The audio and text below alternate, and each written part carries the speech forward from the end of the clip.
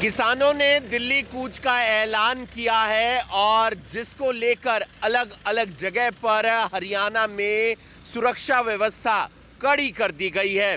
इस वक्त हम मौजूद हैं करनाल में नेशनल हाईवे चवालीस पर करण लेक के बिल्कुल नज़दीक और ये तस्वीरें आप देख पा रहे हैं। यहाँ पर बैरिकेड्स बकायदा लगाए गए हैं। नेशनल हाईवे से साइड में साथ ही साथ यहाँ पर एसएसबी के जवान मौजूद हैं।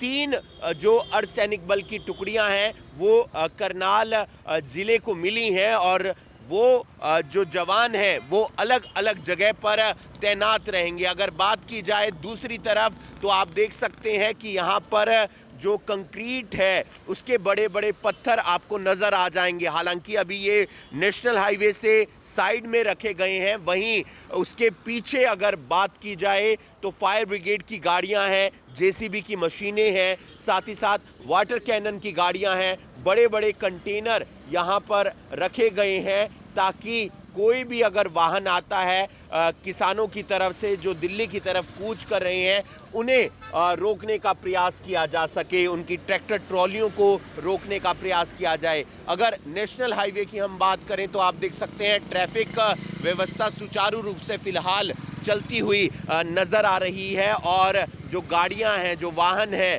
वो आगे की तरफ़ बढ़ते हुए नज़र आ रहे हैं। ये रास्ता चंडीगढ़ से दिल्ली की तरफ़ जाता है। हालाँकि रूट भी डाइवर्ट किया गया है। जो तमाम लोग हैं वो चंडीगढ़ से दिल्ली जाने के लिए वाया यमुनानगर लाडवा इंद्री का रास्ता अपनाते हुए नज़र आ रहे हैं। किसानों की मीटिंग भी होती है सरकार के साथ लेकिन वो मीटिंग बेनतीजा रहती है। सरकार की तरफ़ से कई बातें रखी गई किसानों की तरफ़ से कई बातें रखी गई लेकिन उस पर कोई फैसला नहीं निकला। जहाँ किसान बात कर रहे हैं, स्वामीनाथन रिपोर्ट लागू की जाए, एमएसपी गारंटी कानून लागू किया जाए, साथ ही साथ जो किसानों और मजदूरों का कर्जा है, वो माफ़ किया जाए। ऐसी तमाम मांगों को लेकर उनकी तरफ़ से दिल्ली कूच का आह्वान किया गया है और क्या स्थिति रहती है आने वाले वक्त में ये भी देखने वाली बात होगी। आप देख सकते हैं, जो बैरिकेड्स हैं, अभी हाईवे के एक तरफ़ में लगाए गए हैं जिससे